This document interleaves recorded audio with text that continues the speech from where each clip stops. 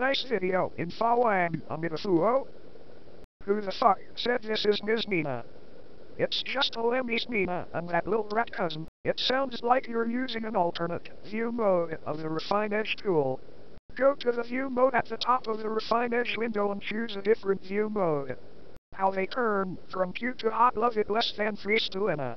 That software doesn't exist anymore. Fraud check out this video Why on are these Yelp. icons doing in my Chase. Super logo.